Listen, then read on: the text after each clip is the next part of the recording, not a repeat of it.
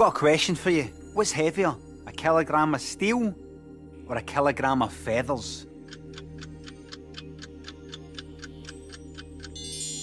That's right, it's a kilogram of steel, because steel is heavier than feathers. What do you mean? They're both a kilogram. But steel's heavier than feathers. I know, but they're both a kilogram. What? It doesn't prove anything. Steel's heavier than feathers.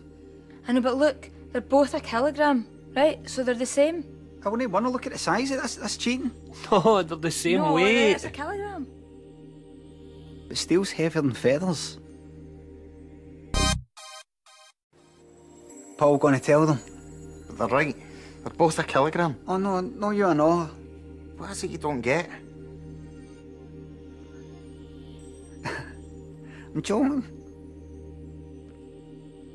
You alright? I don't get it. Sorry. alright. Hey, don't worry about it.